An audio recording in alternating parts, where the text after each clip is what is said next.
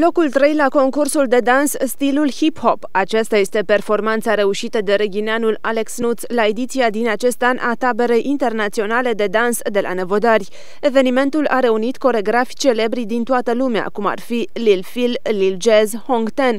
Unii dintre instructori s-au înscris și în competiție, fapt care a ridicat nivelul battle-urilor. Alex Nuț s-a calificat între cei 16 dintre 50 de înscriși.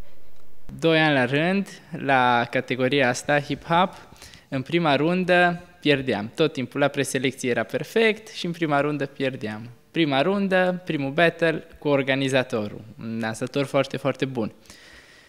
Și, bineînțeles, prima dată a fost egal, am avut emoții mari, încă o rundă, după care am câștigat sferturi de finală, unde Uh, am nimerit cu un băiat din Constanța, Roberto, uh, mai tânăr decât mine, dar un dansator foarte bun, întotdeauna el era prin finale și așa, deci foarte, foarte bun, am crezut că gata, atât o să fie.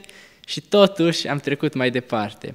Iar în semifinale am nimerit cu un băiat Mircea, el a participat de curând și în Letonia la un concurs, o luat locul 2, foarte, foarte, foarte bun dansator și până acolo am ajuns în semifinale, dar o meritat, adică a fost o experiență foarte plăcută, am primit sfaturi bune, aprecieri. La categoria la care a participat uh, a fost o categorie foarte grea, deoarece au participat doar profesioniști uh, și în special profesori de dans în acest stil și mai mult decât atât, inclusiv instructorul care a predat cursurile a participat la această competiție și normal că din acest punct de vedere am avut așa, să spunem, uh, un pas înapoi, deoarece știm că un instructor și venit și din străinătate, din Brazilia, categoric este mult mai bun decât oricare candidat sau pretendent care ar fi în competiție.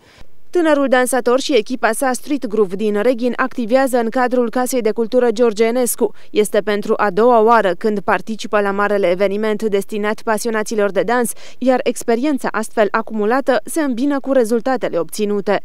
Ne-am și mândrit cu această persoană, deoarece a participat la câteva competiții și a și luat uh, premiul 3, un premiu care pe noi ne onorează, atât din punct de vedere a Casei de Cultură, cât și a, să spunem așa, orașului uh, și pe această cale mulțumim primăriei că ne-a susținut în acest proiect de a merge mai departe, inclusiv doamnei primar, deoarece a fost nevoie de o sumă consistentă de bani pentru a participa la astfel de competiție și workshop-urile care erau organizate acolo în, în cadrul taberei. Foarte mulți dansatori au venit la mine și mi-au spus că am progresat foarte mult și asta e foarte bine pentru că modul meu de antrenament înseamnă că e bun.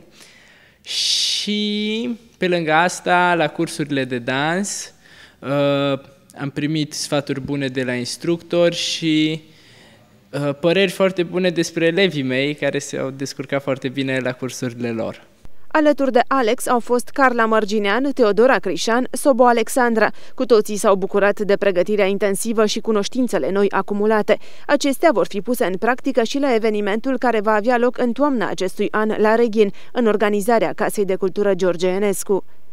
În noiembrie vom organiza nu o tabără, ci un concurs, o competiție internațională de street dance, break dance, popping, locking, ce va avea loc uh, la Casa de Cultura Tineretului, unde deja s-au înscris un număr mare de, de candidați. Cu ocazia taberei de la Năvodari, reghinenii au putut stabili contacte pentru a pune la cale competiția din toamnă și a se asigura astfel că va fi un eveniment cu răsunet în lumea românească a street dance-ului.